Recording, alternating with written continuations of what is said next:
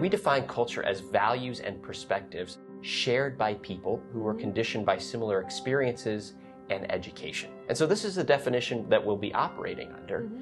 And importantly, the definition can refer to many different types of culture. We can think about geographic culture, but we certainly know within geography there are regional cultures that are distinct. In addition, we have organizational cultures that influence how we communicate. And even at the team or unit level, there are particular cultures at those areas that influence how people operate. You think about an organization, you may have one team that mm-hmm. sits in one area of the office, and on the other part of the floor, another team and they both could have very different cultures. They could sit in different cities. Yes. They can sit in different countries, uh-huh. right? And so we not only have different cultures within people sharing the same space, but broadly dispersed over the globe. We have this challenge of many different cultures.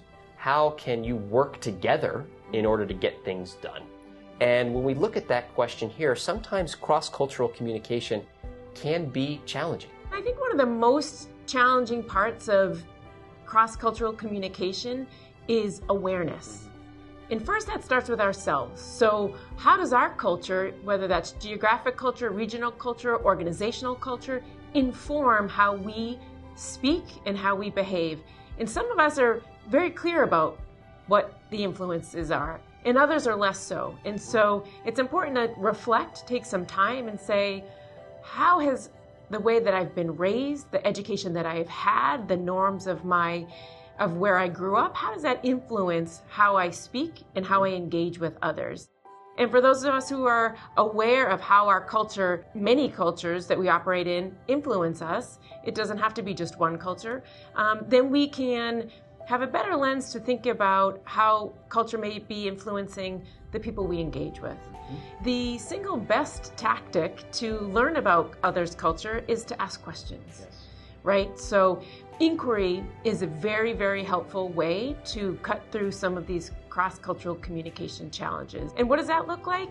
It's saying, what are your styles and preferences? What about your culture should I know?